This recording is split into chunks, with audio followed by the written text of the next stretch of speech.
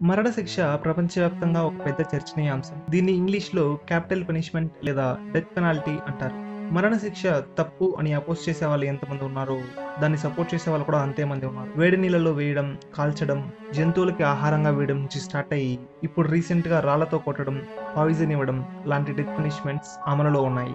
ఈరోజు మనం వేరే వేరే దేశాలలో ఎలా మరణశిక్ష అమలు చేస్తారో చూడబోతున్నాం.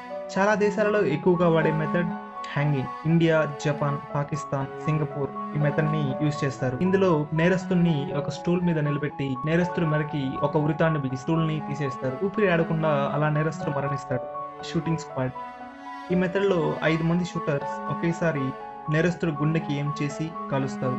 కొన్నిసార్లు ఈ ఐదు మంది షూటర్స్‌లో ఒకరి గన్‌లో మాత్రం బుల్లెట్ ఉండదు. కానీ అది ఎవరి గన్‌లో అని తెలిసి ఉండదు.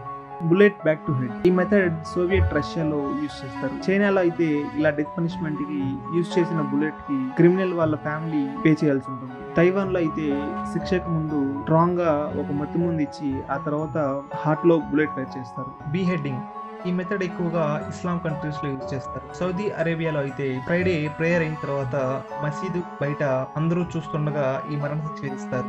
రేప్ మర్డర్ డ్రగ్స్ లాంటివి ఈ మరణశిక్షకి కారణాలు. టోనింగ్ ఈ శిక్ష ఇరాన్లో యూజ్లో ఉంది. అడల్టరీ డ్రగ్ ట్రాఫికింగ్ ఇలాంటి నేరాలలో రాళ్ళతో కొట్టి చంపుతారు. ఇస్లాం లో ఈ మెథడ్కి అనుమతి ఇరాన్లో ఒక సెంటెన్స్ పాస్ చేశారు. ఆఫ్ఘనిస్తాన్ యుఏఈలో ఇది కామన్గా వాడే ఒక మెథడ్ ఎలక్ట్రిషియన్ ఈ మెథడ్ యుఎస్ఏ లో ఎక్కువగా యూజ్ చేస్తారు. పంతొమ్మిది వందల నలభై నాలుగులో జార్జ్ స్టిన్నీ అనే ఒక పద్నాలుగేళ్ళ నల్ల జాతి పైన ఈ మెథడ్ యూజ్ చేసి చంపారు. కానీ కొన్ని సంవత్సరాల తర్వాత జరిగిన నేరాలకి ఆ పిల్లవాడికి ఎటువంటి సంబంధం లేదు అని తెలిసింది. ఇంకా సుడాన్లో అయితే నేరస్తుడు చేసిన నేరాన్ని వాళ్ళకి శిక్షగా విధిస్తారు.